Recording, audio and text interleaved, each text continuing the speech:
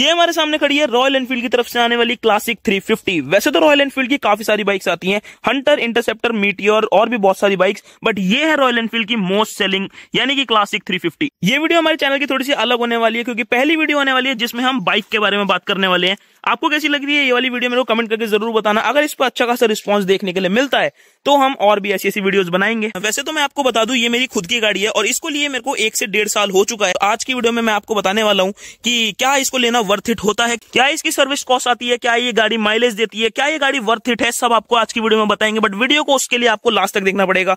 और ऐसी मस्त मस्त वीडियो के लिए चैनल को सब्सक्राइब और वीडियो को लाइक एक बार जरा नैन से जानते हैं कि उनके क्या व्यूज़ हैं रॉयल एनफील्ड को लेके। भाई, ये हमारे चैनल का दूसरा चेहरा। अगर आपने वीडियो नहीं देखी है ना फेस रील वाली, बहुत बड़ा चीज़ मिस कर रहे हो भाई। वैसे तो हमने पहली बार करा था ऐसा कंसेप्ट लेकिन उसको ज़रूर जाके देखना।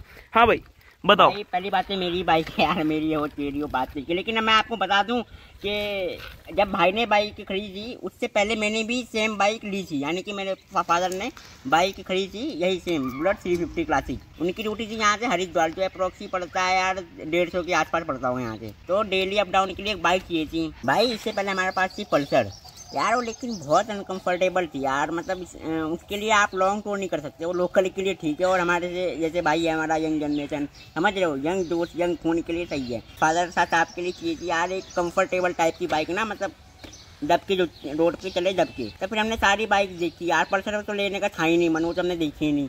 फिर जो भी जितनी टूरिंग बाइक आती हैं आपका चाहे के की आती हो फिर चाहे आपका ये जावा की आती हो लेकिन किसी में भी मज़ा नहीं आ रहा था। फिर हम सोचा क्यों ना यार रॉयल इनफील्ड लिया यार इसका नाम चलता है। मतलब कंफर्टेबल थी मतलब कोई भी थकावट थकावट नहीं होती और आराम से चलती दबके एकदम।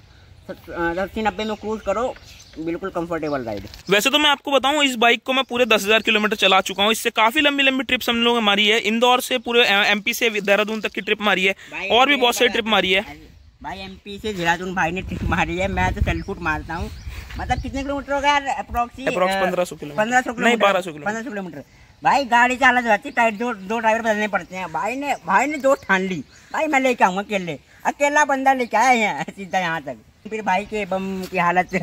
तो जैसे कि भाई ने बताया, हमने इतना बढ़िया, इतना बड़ा टूर मारा, बढ़िया कह रहा हूँ, इतना बढ़िया टूर मतलब बढ़िया भी था, इस गाड़ी के साथ बहुत अच्छा टूर रहा हमारा। तो मैं, मेरे पर्सनल ओपिनियन में भाई, इस गाड़ी में काफ़ी ज़्यादा कंफर्ट है। अगर आपको लॉन्ग रन मारना है ना अगर आपकी लॉन्ग ड्राइव है मतलब आपको बहुत दूर दूर जाना होता है डेली का बहुत लंबी राइड है तो आपके लिए सबसे बढ़िया गाड़ी रॉयल इनफील्ड ही रहने वाली है। अब बहुत लोग इसके ना वाइब्रेशन के बारे में बोलते हैं कि ये गाड़ी बहुत ज़्यादा वाइब्रेशन करती है। पुराने वाली बुलेट की बात कुछ और थी लेकिन अगर आज की बुलेट आप देखने जाओगे ना तो इतनी ज़्यादा वाइब्रेशन इसके अंदर नहीं देखने की लेकिन भाई एक बात बोलूँ? हम्म। जो पुराने वाली थी ना बुलेट उसकी जो आवाज़ थी ना भाई वो नहीं मैच कर पाएगा ये वाले सलेंसर तो एक बार अगर छपरी गिरी करनी है तो पट पट पट पट वो लगवा लो फिर बोल लो चलाने का कट गया। उससे बेटर है कि भाई कंपनी वाला चलाओ मस्त कंफर्टेबल करो राइड आराम से। भाई ने बाइक लेने से पहले काफ़ी बाइक देखी जो इस बजट में आती है ढाई तीन की मैं बताता हूँ मैंने सबसे पहले मेरा दिल था आर वन फाइव या फिर के लेने का ठीक है?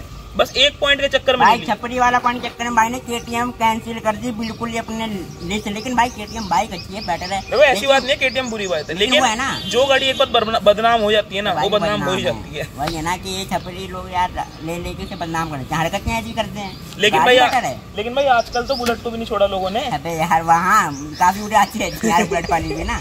जैसे आईफोन हो गया है ना कि हर दूसरे बंदे के पास आपको आईफोन दिख जाएगा। वैसे आजकल बुलेट हो चुकी है। लेकिन यार हर दूसरी गली में यार बुलेट की क्लास है। हाँ वो तो है। क्लास को कोई नहीं छेड़ सकता बुलेट अब बात कर लेते हैं भाई ये गाड़ी माइलेज कितना देती है? देखो इसका ओडोमीटर में तो कुछ दिखाती नहीं है ये इतनी एडवांस नहीं है। रफ एंड टफ फीचर जो चाहिए वो मिल जाते हैं। भाई पहले वाली में तो इसका फ्यूल टैंक भी नहीं मिलता था कितना पेट्रोल बचा है। अंदाज़ा से चलती थी गाड़ी मतलब वो ये ना पुराने वाले फील को मेंटेन करना चाहती है रॉयल एनफील्ड मैं आपको बता देता हूँ, एक डेढ़ साल हो गया मेरे को इस गाड़ी को चलाते हुए। सिटी के अंदर ये मेरे को तीस बत्तीस का एवरेज दे देती है और हाईवे के अंदर मेरे को पैंतीस का एवरेज मिल जाता है। वैसे तो कंपनी इकतालीस का माइलेज क्लेम करती है, लेकिन क्लेम करने में क्या जाता है भाई? जो प्रैक्टिकल बात है, वो प्रैक्टिकल बात है। देखो, अगर तमीज से चलाओगे गाड़ी को तो पैंतीस, छत्तीस का तो दे देती है एवरेज हाईवे के ऊपर। बट सिटी के अंदर तो काफ़ी ज़्यादा कम मिलता है बुलेट के अंदर। यही कोई तीस बत्तीस का एवरेज दे देती है ये। बात करें इसके मेंटेनेंस कॉस्ट की तो इसकी सर्विस कॉस्ट एक बार में जो नॉर्मल सर्विस होती है, वो पड़ जाती है दो से ढाई हज़ार रुपए की। सर्विस कॉस्ट से याद आया, अगर आपका कुछ भी नहीं हो रखा है बुलेट में तो होती है दो ढाई हज़ार।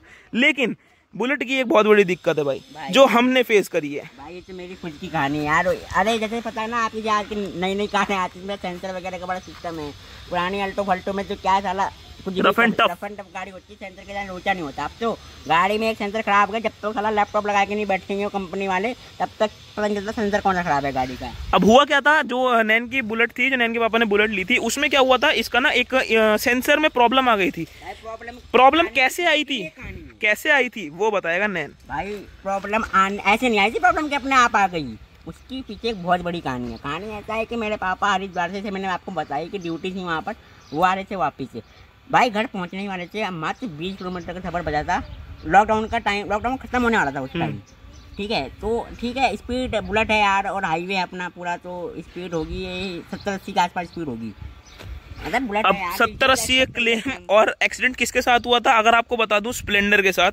और फ़ोटो नहीं है मेरे पास नहीं तो मैं आपको दिखाता। स्प्लेंडर ना दो टुकड़ों में ऑलमोस्ट बढ़ चुकी थी। जो स्प्लेंडर थे भाई स्प्लेंडर पे तीन बंदे बैठ रखे थे और तीनों बहुत ज़्यादा सीरियस थे। वैसे तो तीनों बच गए थे कोई दिक्कत नहीं आई थी। और उनके साथ क्या हुआ था भाई?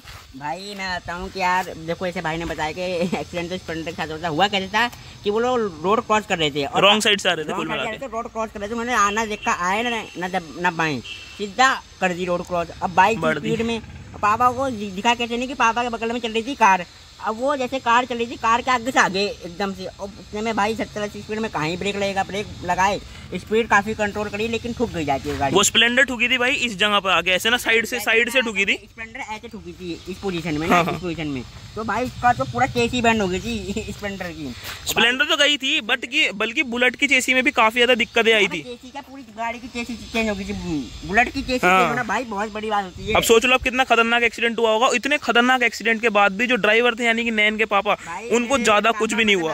लिटरली सेफ़ ही कहूँगा छोटे मोटे स्क्रैच वगैरह मतलब शरीर में खरोचे आ गई थी पट्टी वो भी नाम मामूली खरोचे थी क्योंकि गिरे से जाके वो।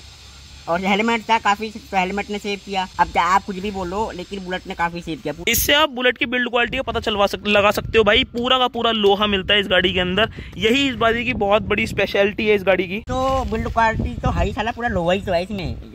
और कोई बाइक को ठोकते इसमें प्लास्टिक होते हैं पूरे पार्ट बिखर के खत्म। भाई मेरे पे कोई वीडियो तो है नहीं लेकिन हाँ फ़ोटो है। वो मैं वीडियो पे कर दूँगा। तो आप उसमें लगाना अंदाज़ा कि भाई कैसा क्या उसमें आपको अगर मैं बताऊँ आगे का लाइट वगैरह और ये जो शॉकर है, ये हल्के हल्के बैंड समझ आएँगे अगर आप ध्यान देखोगे। लेकिन पूरी बाइक की भी फ़ोटो नहीं है, वो थाने की फ़ोटो है। वहाँ से मैंने मंगवाई थी। अब एक चीज़ है कि हमने गाड़ी सेल क्यों करी थी? सेल इसलिए करी थी भाई, उसके अंदर ना एक सेंसर की दिक्कत आ गई थी। अब वो सेंसर ना हमारे आसपास लोकेलिटी में कहीं मिला नहीं। वैसे तो आगे जाके मेन सिटी जो है, देहरादून वहाँ पर मिल गया था। उसके बाद वो ठीक हो गई थी गाड़ी, पूरी अच्छी तरीके से हो चुकी थी। लेकिन फिर भी भाई हम काफ़ी ज़्यादा तंग आ चुके थे उस गाड़ी से। तो हमने भाई एंड में आके उसको बेचना ही सही समझा। और इसी बात पे मैं आपको बताता हूँ भाई, बुलेट की रीसेल वैल्यू इतनी खतरनाक है ना। एक्सीडेंटल गाड़ी माइंड भाई एक्सीडेंटल गाड़ी जो कि एक्सीडेंट हो चुका है चेसी चेंज हो चुकी है पूरी की पूरी, ढाई में खरीदी और पौने दो में बेच दी। अब सोच सकते हो आप रीसेल वैल्यू कितनी खतरनाक है। और वैसे भी डेढ़ साल हो चुके थे उस वाली बुलेट को भी। और मैंने तो फिर भी दस हज़ार ही चलाई है, वो चल गई थी ऑलमोस्ट बीस हज़ार किलोमीटर। अब ये तो हो गई आज से भाई तीन साल पहले की बात, हमने वो दो लाख, ढाई लाख रुपए में खरीदी थी, लेकिन ये वाली गाड़ी मेरे को पड़ी थी पर्सनली दो लाख पचपन हज़ार रुपए समथिंग की। और आज के टाइम में अगर आप खरीदोगे तो ये आपको तीन, सवा तीन लाख के बीच में मिल जाएगी ऑन रोड अब भाई आप में से बहुत लोग कहोगे कि पॉजिटिव पॉजिटिव तो बहुत सारा हो गया बट कुछ नेगेटिव तो बताओ। मैं आपको बताता हूँ भाई टचवुड अभी तक मेरी गाड़ी में कोई भी दिक्कत नहीं आई है, और भगवान करे आगे आई भी ना। लेकिन एक जो मेरे को नेगेटिव लगता है, वो है इसके फीचर्स भाई। अभी ये नेगेटिव भी हो सकते हैं पॉजिटिव भी हो सकते हैं, क्योंकि भाई ओल्ड फील को लाने के लिए बुलेट इसमें फीचर्स देती नहीं है।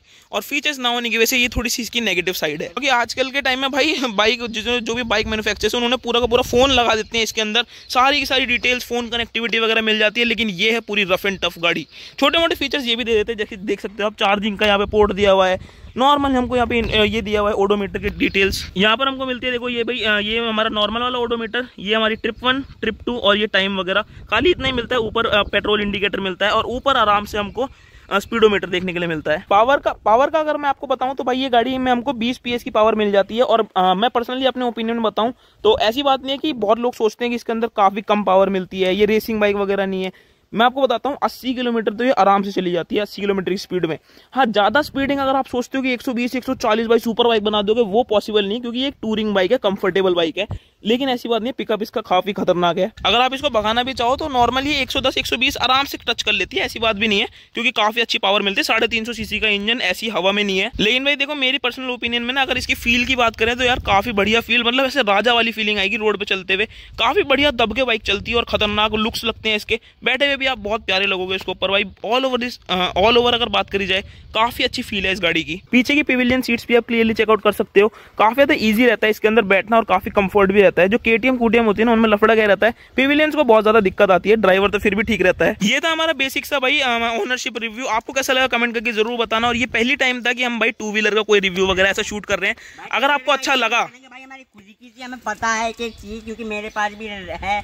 मतलब मेरे पास भी थी, भाई के पास भी है। अगर आपको अच्छी लगी ना ऐसा कंसेप्ट अगर आपको अच्छा लगा ऐसा कंसेप्ट तो और भी बताना क्योंकि हमारे माइंड में बहुत सारी चीज़ें चल रही हैं। अगर इस वीडियो पे अच्छा रिस्पॉन्स देखने के लिए मिलता है, ऐसी वीडियोस और भी आपके लिए लेके आएँगे। मिलते हैं ऐसी किसी बड़ी सी वीडियो में, तब तक के लिए stay awesome stay safe bye